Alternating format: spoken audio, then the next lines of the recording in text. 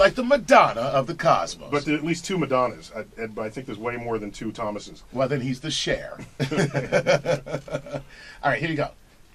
Hi. I imagine an asteroid passing between the Earth and the Moon. Could we see the asteroid transit the Moon, or would it be too small to see? How rare would that event be?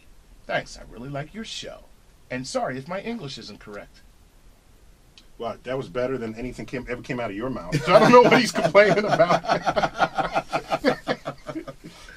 uh, I, I kid you, Chuck. No, I know. I don't. Yes, no. You're absolutely right, though.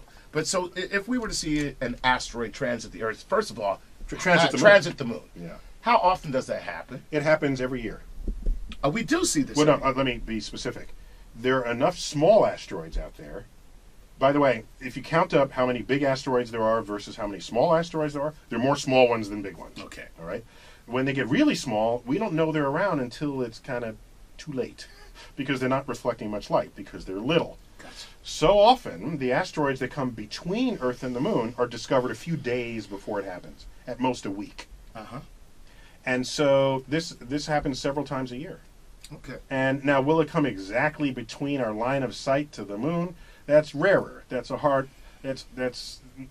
If it is, we, we no one's caught it doing that. Gotcha. And uh, so, but it's great he asked that because we recently had a Venus transit, and it's got people thinking. Right. When you're science literate, you connect one fact or thought to another, and it spreads out your knowledge and appreciation of the cosmos. So I applaud the extension of the Venus transit to a moon transit.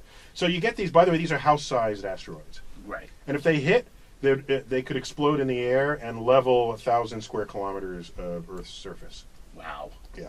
Okay. So there, there you go. That's there you go. That's comforting. Good to know. Good to know. Yeah, and so unfortunately, uh, fortunately, if one of those do does hit, it won't render us extinct. But it would really bad. It'd be really bad for the people who live below the, the, the impact point.